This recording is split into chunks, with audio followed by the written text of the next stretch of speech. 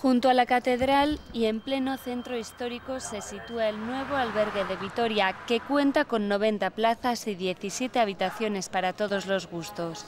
Este apartamento para cuatro cuesta 75 euros la noche y una cama en habitación compartida 17. Está muy bien de precio porque todos los están en la línea de los albergues eh, de jóvenes, de jóvenes y del Camino de Santiago y luego pues hay precios especiales para personas, para familias o para personas que vengan con determinadas eh, condiciones.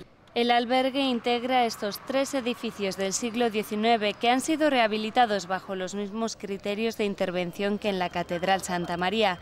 Además, se han empleado materiales sostenibles y reutilizados. Estamos demostrando que rehabilitar y restaurar es a veces eh, incluso más económico que mm, tirar y volver a hacer.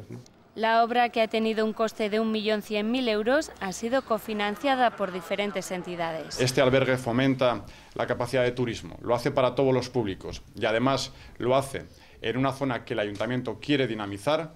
Solo cabe una conclusión y es decir, esto es bueno para Vitoria.